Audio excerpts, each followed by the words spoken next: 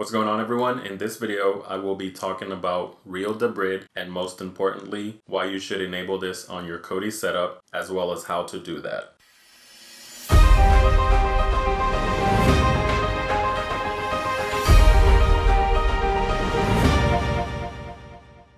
Real Debrid, or however you pronounce it, has been around for a while. I am now getting back into it because, quite frankly, Kodi sucks without it. Using Real Debrid can improve your experience greatly and make Kodi feel similarly to Netflix without spending too much money. That being said, Real Debrid is a paid service, but don't worry because it is fairly cheap and very much worth it. To get started, I will answer what Real Debrid is. Real Debrid is a paid service that gives the user premium access to many popular file hosts on the internet. These are typically not available to users without it. When pairing this with Kodi and the use of third-party add-ons, you will get more reliable available links with minimum to zero buffering, while also having access to higher quality links with 720, 1080, and even 4K content. Not a lot of people will want to use this for the fact that it is not free and you can already watch content without it, although not reliably. The reason I decided to get back into using this service was because lately I was spending too much time looking for working links rather than actually watching content. After enabling this, all the links I tested worked flawlessly on the first try.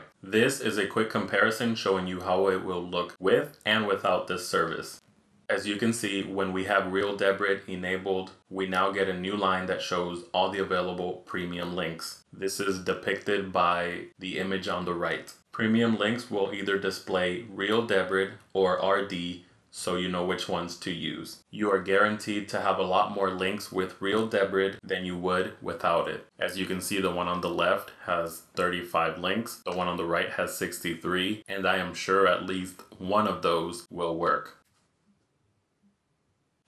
Once a video starts playing, you can check the quality to make sure you are getting the correct resolution for the link you chose. You can do this by selecting settings, select video settings, and right next to video stream you can see the quality. So 1920 by 808. If the video was full screen, it would be 1920 by 1080, but you get the idea. You can close and continue to watch your video. This is just a way for you to see if the service is worth it for you or if you'd rather stay without it. Now we'll move on to the setup. Most add-ons already support Real Debrid. All you need to do is set it up in the settings. For this example, I will be using Incursion. First, make sure to head over to the link in the description and pay for the plan that you want. You'll notice it is way less than what you would pay on Netflix every month. After you have your account set up, you want to highlight the add-on that you will be using and then you want to bring up the context menu. This will be different depending on your device. If you have a keyboard, you press C. If you have a Fire TV, you press the menu button. And for other devices, just press whatever key you can until you get this menu here. You want to select settings.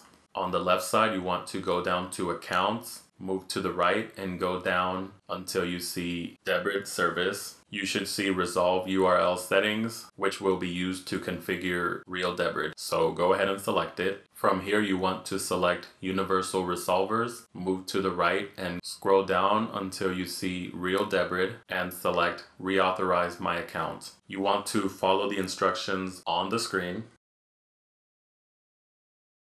once you have done that, the message will disappear and you are ready to go. That's pretty much it. You now have Real Debrid enable and can enjoy premium links displayed, which you can see here from the device that did not have it configured earlier. If you found this video helpful, hit the like button, subscribe for more videos like this, and make sure to check out my website for tutorials such as installing Incursion, which we used in this video, or any other add-ons you might find on there. Without further ado, thank you for watching, and I will see you in the next video.